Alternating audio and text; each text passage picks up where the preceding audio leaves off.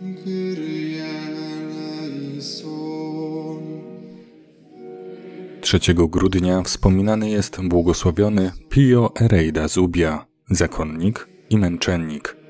Pio urodził się 15 lutego 1875 roku w kraju Basków na północy Hiszpanii. W wieku 14 lat wstąpił do zakonu ojców cystersów w bardzo surowej regule życia.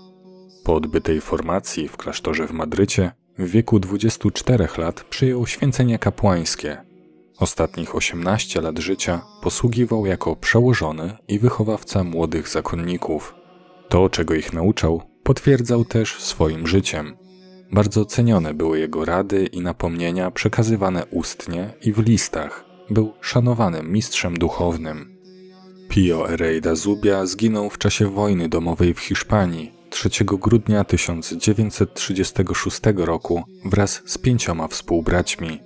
Jego beatyfikacja odbyła się 3 października 2015 roku.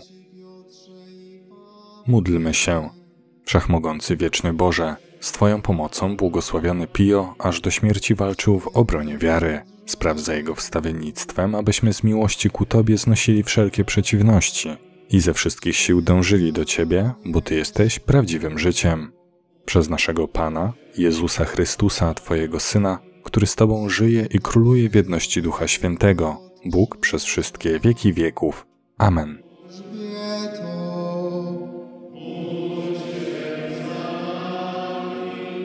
Wszyscy święci, święte Boże.